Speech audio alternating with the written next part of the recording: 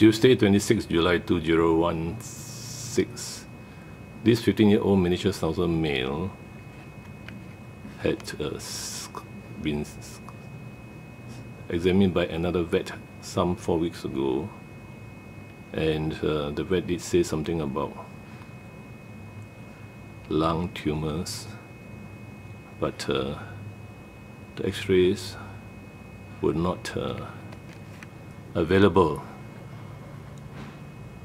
the owners came to Toa Payoh Vets and uh, we did not have the x-rays. And uh, he suspected some thing in the throat inside the throat causing this continuous coughing throughout the day for several weeks. But uh, so today I recommended an x-ray again instead of a bronchoscopy, a scope into the throat to check for any any growth because bronchoscopy costs about thousand six hundred dollars. And uh, so with this second x-ray actually you can see a radio dense tumor quite quite a big one on the left side of the chest. The right side is here.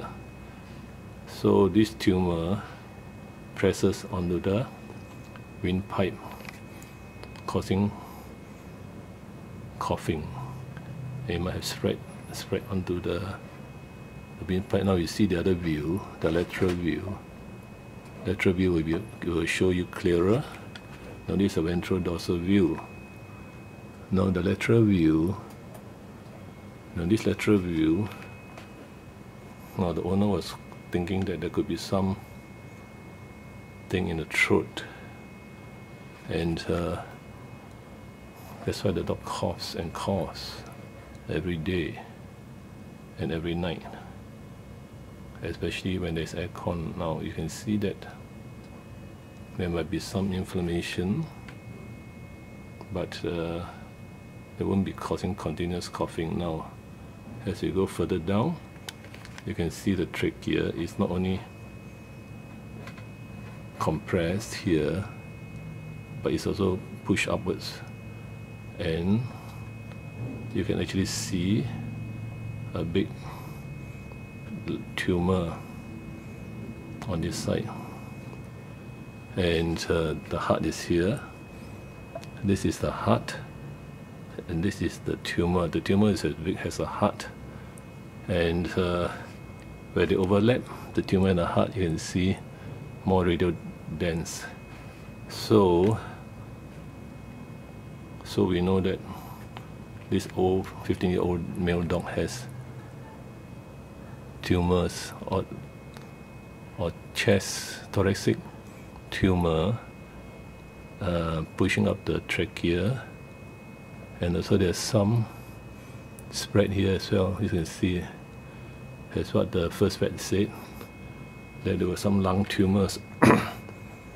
But uh, apparently the owner was not uh, convinced by the first vet. So now with this second x-ray which is uh, I presume is clearer because I have, not, I have not seen the first x-ray by the first vet. So you can see that the tumor is really large and has spread. Has spread downwards as well. It's spread downwards. And uh, it's mainly on the left side. Although there's some here, some here.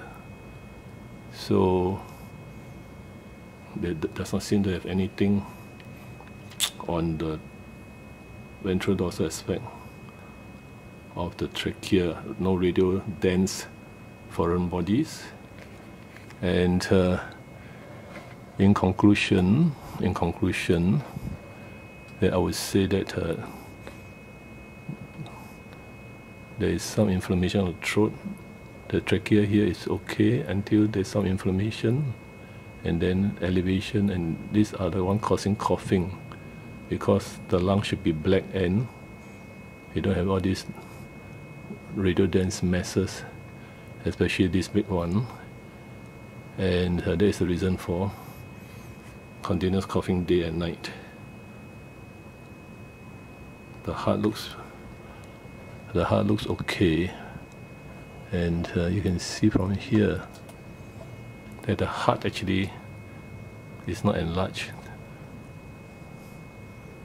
but this tumor is, has lung tumors has spread has spread and then there's some here. Toa Payoh vets coughing dog for many weeks. Singapore